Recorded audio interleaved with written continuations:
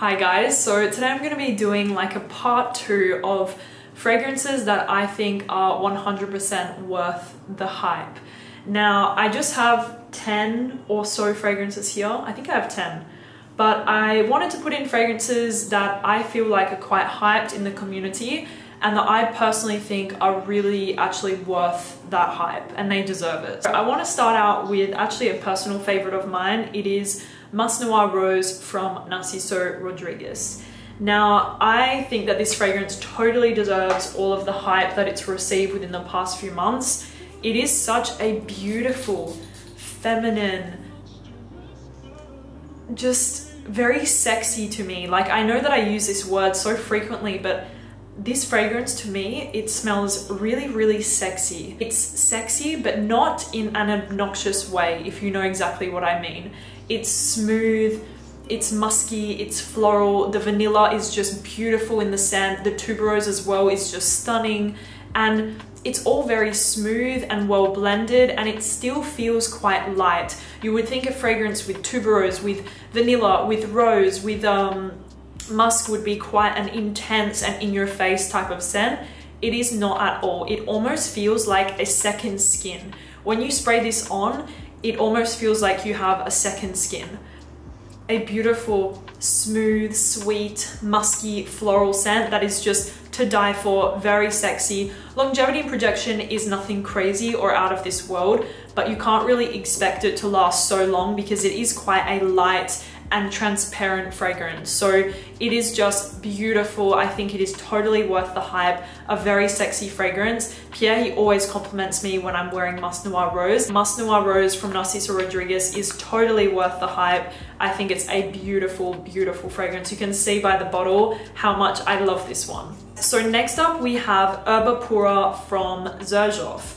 Now this fragrance is very, very hyped for many years actually. It's been around for quite a while and it's definitely been hyped over a span of several years, I would say. But personally, I only got it into my collection earlier this year and I really saw the magic of Erba Pura. It is definitely not my favorite from Xerjoff and I mean that in the best way possible. I mean, from the brand, I have so many other fragrances that I love much more, like Tony Iommi, like Ivory Route, like Bouquet Ideale, like Dama Bianca. I prefer those fragrances from Xerjoff and Casamorati. But Erba Pura, there is a magic behind this scent. The compliments that you get when you wear this fragrance are just insane. People are just captivated by the scent of Erba Pura. It's very strong, very, very musky, very fruity, kind of fresh almost in a way. And for me, I get this very like kind of dry, woody sort of feeling overall. Maybe there is a bit of ambroxan in the base, but for me, I get this very fruity, musky scent with a dry, woody ambroxan um, base to it. It is fantastic, but like I said, when I smell it like this, I don't fall in love with the fragrance. The For me, the beauty of this scent is when you wear it and the people around you just go crazy for the fragrance. For me, Erba Pura is definitely worth the hype. You need to try it on your skin, have a little wander around and you will see it for yourself. The longevity projection on this one is also crazy. Sometimes actually I become anosmic to the fragrance and I cannot smell it on me anymore, but everyone else can still smell me. So Erba Pura from Xerjoff, definitely worth it. Definitely a um, man-eater fragrance, if I can say that. Guys go crazy for Erba Pura and um, it's just a really, really beautiful scent. So love it, definitely worth the hype. Next up, I'm gonna talk about Layton from Parfums de Marly. Now, obviously this fragrance has been spoken about for several years, especially by me, and it is a totally, totally hyped fragrance. But if you're a guy and you're watching this video and you don't have Layton in your collection yet, just get it really, this fragrance is so worth it. It's strong, it's sweet, it's aromatic, it's very dry and woody and masculine and so attractive. I swear to you guys, whenever my boyfriend wears this fragrance and he sprays it on, my head just turns to him. There is something so special about it. It's fresh from the lavender, it's sweet from the apple and the vanilla, but it also has this very dry, woody ambroxan base as well to it. And it's just a masterpiece fragrance. So Layton from Parfums de Marly, very sexy, very much worth it. And longevity projection on this one is fantastic. It's gonna last on your clothes and your skin for days. It is very, very, very potent. Like most of the juices from Parfum Marly, they're very potent and this one is totally worth it. So Layton, Layton, it's worth it. Next up, we have Oud Satin Mood from Maison Francis Kurkdjian. Now, I also really love from the brand Grand Soir, which is also kind of like a hyped fragrance and I personally prefer Grand Soir on myself than I do Oud Satin Mood, but I know that it's definitely a very, very hyped scent and a lot of people love this one. Now, Oud Satin Mood is a very, very strong rose and oud scent. It has violet, it has benzoin, it has vanilla, it has rose, it has violet. I already said violet. And for me, I get this very candied rose and oud scent. Slightly powdery, very candied sweet, and you don't really feel the oud too much in the scent, or maybe that's because I've lived in Dubai now for almost three years and I feel very acquainted with the scent of pure oud. So for me, I don't pick it up like completely in the fragrance. I do feel like it takes the back seat compared to the candied rose scent, but it is fantastic. I do have to tell you guys though, I cannot wear this fragrance anymore because I find it completely overwhelming, which is definitely a testament to how strong this scent is. When you wear it, you're wearing it. Like you're wearing the fragrance. It is so potent, it is so strong, it is almost suffocating how strong this scent is, but it is definitely worth the hype. A beautiful, powdery, candied rose with oud and very, very strong and long lasting as well. So next up, we're gonna talk about Minuit et Demi from Fragrance Bois and myself. Now, this is definitely, was definitely a very, very hyped release um, from me. And I am just so happy, and I told you guys this in a previous video, that I feel now that the hype has died down from the scent, like the initial, oh my god, launching a perfume, it's a limited edition. I feel like now that that hype died down, people are actually discovering this scent and realizing how beautiful it is. I stand behind this scent completely. It is incredible and anyone that I've showed it to from the industry tells me how beautifully done the fragrance is. It is stunning. A slightly spiced, creamy, uh, gourmand with a beautiful uh, woody tobacco dry down. It's sweet but not too sweet. It's not overwhelming. It's not overly sickly or synthetic. It is just a stunning fragrance. And whenever I see other fragrance reviewers including this fragrance in their top 10 for life, it really brings like this joy to me inside of me because I actually did create this perfume with Stefan Bengana and for other people that love perfume to appreciate it as much as me, it really brings so much joy to me. So I thank all of you that are watching that have bought it, supported me, reviewed it, have said something positive and nice about the fragrance. I really, really appreciate it. And, um, and yeah, it's just stunning. You have cardamom, you have pimento, so it's slightly spiced in the top, but then you have caramel, you have some coffee. It's just incredible and like a beautiful, uh, soft, woody, slightly tobacco-ish dry down. It's just incredible, very addictive, very sexy, very long lasting. You're gonna see that it's gonna leave a trail. Um, you can become anosmic to the scent, but trust me, it's there it is really a 10 out of 10 fragrance and the hype is worth it on this one. And honestly guys, don't take my word for it, just go and smell it. If you can find a store where it's available to try, go and smell it and see it for yourself because for me, it really, really is worth it. Minuit Demi from Fragrance du Bois. Next up, we have Babycat from Yves Saint Laurent, which is definitely a newer hyped fragrance. A lot of people are talking about it and it is totally worth the hype. When I tell you guys that I think that this is one of the best vanillas on the market right now, I mean it. Oh my god. For me, what I get is a very, very resinous balsamic vanilla fragrance with a very kind of incensey sort of vibe going on. Some people pick up some suede or leather.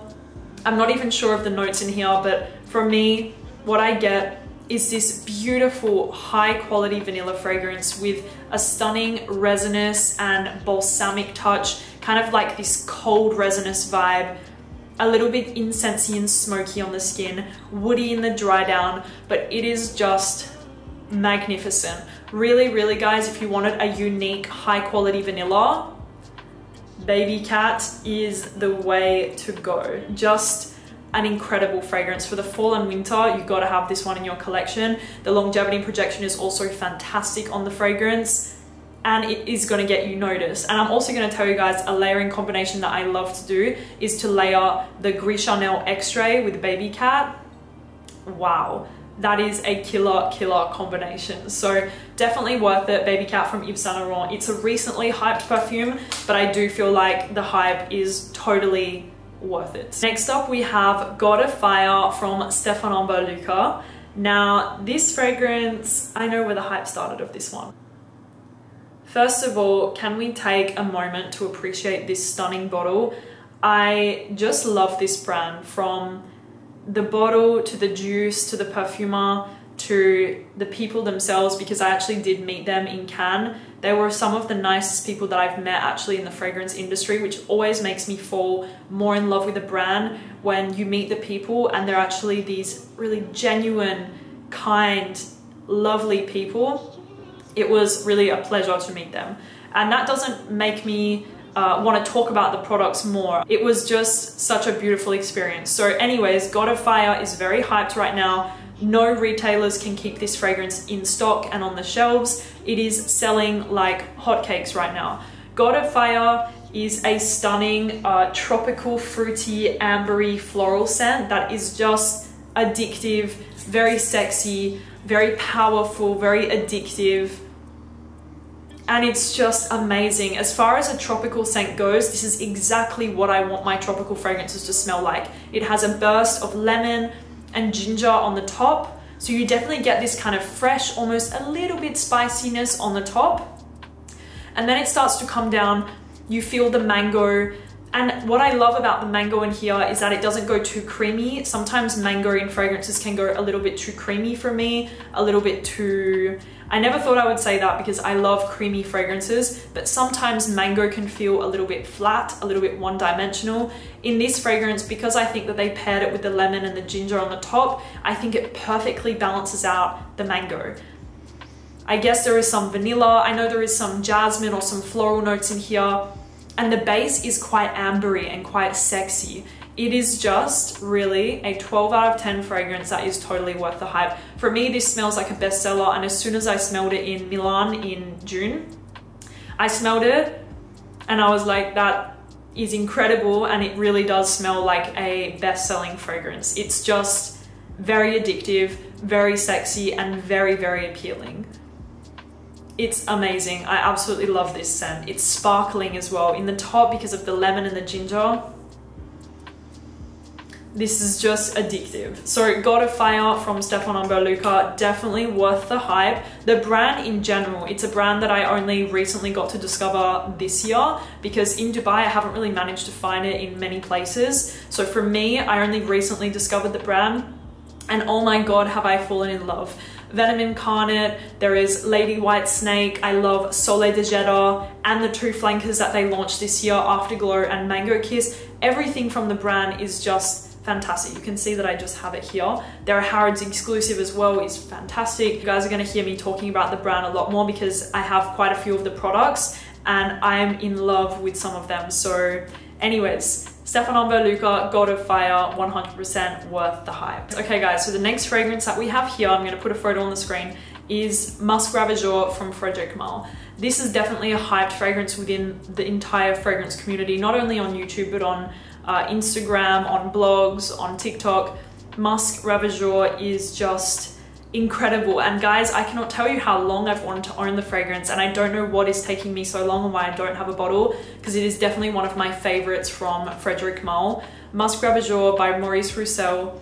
Actually, I just found out I'm going to meet Maurice Roucel really soon, so I'm very, very excited about that because I heard many good things about him and uh, I can't wait to meet him. So Musc Ravageur is a warm, spicy, musky, vanilla, woody. Uh, it is magnificent. I love the combination of the spices with the vanilla, with the musky woodiness. It is just absolutely a dream. It's quite ambery as well, but in a more labdanum ambery way.